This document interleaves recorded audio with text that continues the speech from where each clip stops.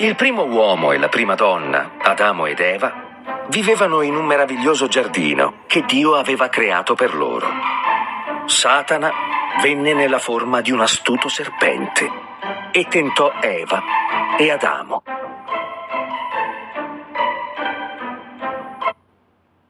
Il serpente chiese a Eva, Dio ha detto di non mangiare i frutti di tutti questi alberi, solo quelli dell'albero nel mezzo del giardino, rispose Eva. Se ne mangeremo, noi moriremo.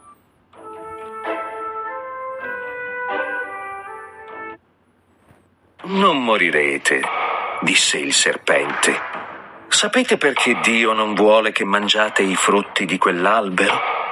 Perché se lo farete, diventerete come Lui, saprete tutto ciò che Lui conosce.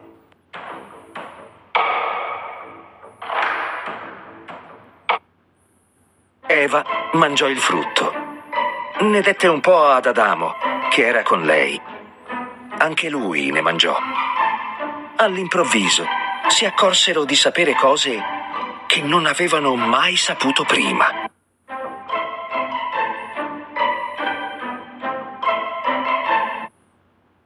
Una delle cose che seppero fu che erano nudi. Allora cucirono insieme delle foglie per coprirsi. Non avevano mai avuto paura o vergogna prima di allora, per cui seppero che qualcosa stava accadendo.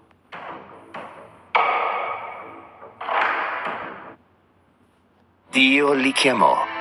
Adamo, Eva.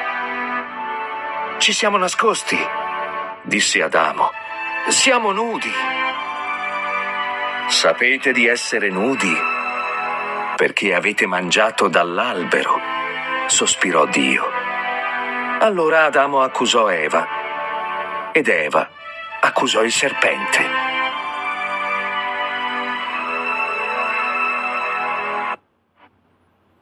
Dio disse, Serpente, tu striscerai sul tuo ventre, un figlio di donna ti sconfiggerà. Eva, partorirai con dolore. Adamo, ti procurerai il cibo lavorando con fatica.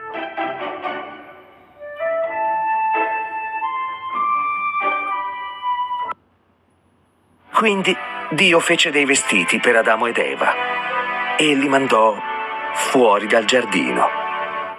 Mise là un angelo con una spada fiammeggiante, così che non potessero tornare.